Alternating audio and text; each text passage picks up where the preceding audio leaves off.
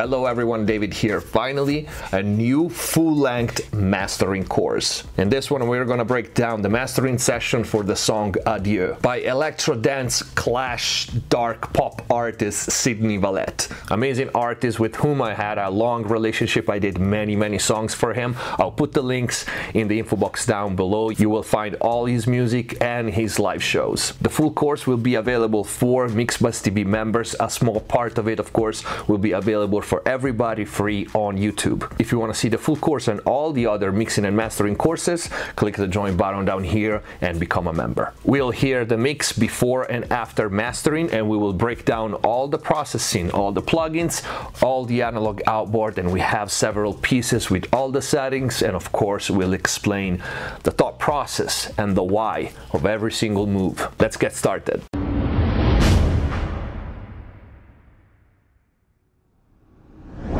All right, this is actually an extended club version of the single, uh, so it's a pretty long song, is uh, almost seven minutes, so I'm not gonna play the entire thing, but I'm gonna play right now the mix, which is the yellow track that you see here, versus the master, which is the purple track below it. The mix was pretty good to begin with, which is always nice, but uh, there was definitely room for improvement, and not that matters that much, but the final result, as you can see, measures roughly minus 6 LUFS short term, and a minus 7 uh, long term. Keep an eye on the screen when I switch between the mix and the master, although uh, you will definitely hear it. And keep in mind that I lowered my master of more than 5 dB, which is 3 dB lower than where the mix peaks. So I don't fool you with levels. So keep in mind the master would be actually 5.4 dB louder than what you hear here. And maybe I will put it back to zero and I will give you uh, the comparison with also the level difference. Here we go.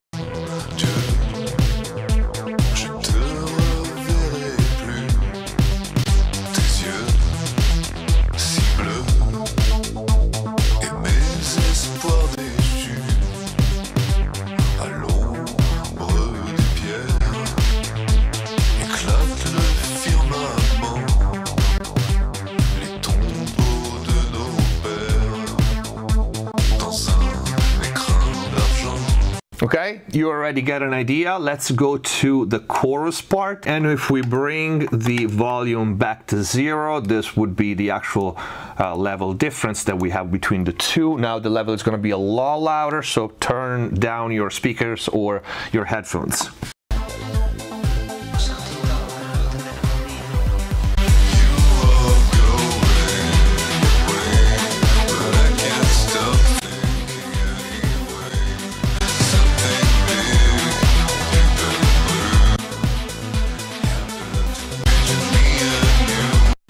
Okay, so this was the difference between the mix and the master. Now let's take a look at the processing and what did I do. I can actually try to boost it a little more so you can hear it in action.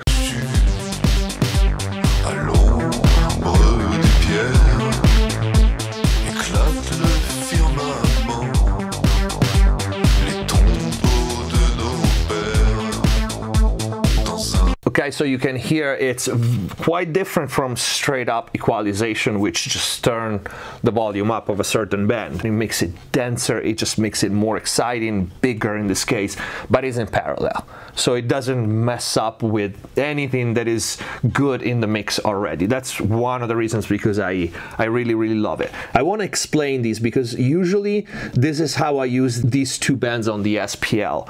I use the first one, the low mid one, for the knock when I want the power that translates on small speakers, right? And then I use the low frequency for the really deep low end. In this EQ, uh, differently from the original Pultec, you can change from shelf to bell. And uh, we are doing a two click this is not 2 dB this is two click uh, 18k in shelf mode. This is as straightforward as it gets. Just simply enjoy how beautiful the top end becomes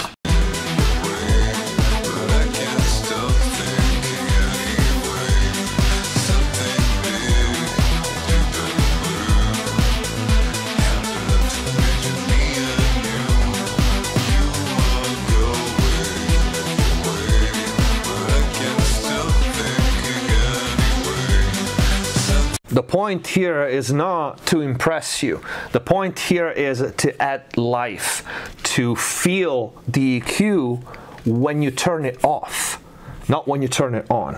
When you turn it on, at least this is how I ideally see mastering. You shouldn't hear that much of a difference. You should hear the difference when you turn your processing away and just the track now becomes lifeless, okay? I really love the top end of, of the Empress. I love the entire EQ. The mid band is amazing, but uh, sometimes can be too colored, so it's, again, one of those things is that's why we need uh, multiple units. Now we are compressing with a 670. I have the mastering version, so everything is a click. The records are super easy. You can see I drive the input a little bit because that's what the Mojo is. And then in this case, I'm using time constant one, which is the fastest and surprisingly enough 50% of the time the one I prefer because this compressor is so musical that you can get away with fast settings. Um, 6 would be my other choice uh, the other half of the time with the three time variable for the release. And two once in a while it works uh, very well as well. The three and four and five are usually too slow for modern music unless it's a ballad. Anyway the key here is to tailor the compressor to react to a certain range and to tailor the DC threshold. This is what makes this compressor so versatile. In combination with the threshold I can drive it and have the right amount of compression that I want. But we are touching not more than 1 dB and a half.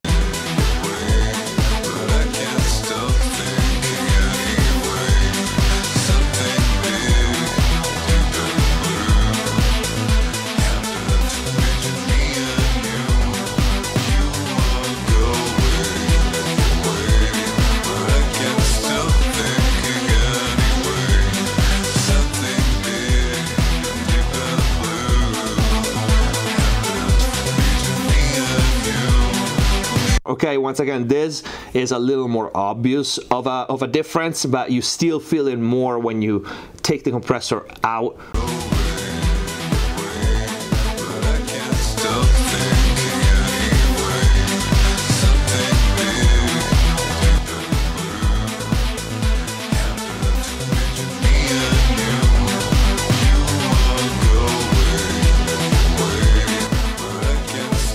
Okay, and the last piece of hardware adds that extra 3D element to the song is Spacecraft on the Moon. And if you are on YouTube and the video ends here, click the join button down there, become a Mixbus TV member, access this and all the other mixing and mastering courses. Thank you for watching. Subscribe if you haven't already. See you next time.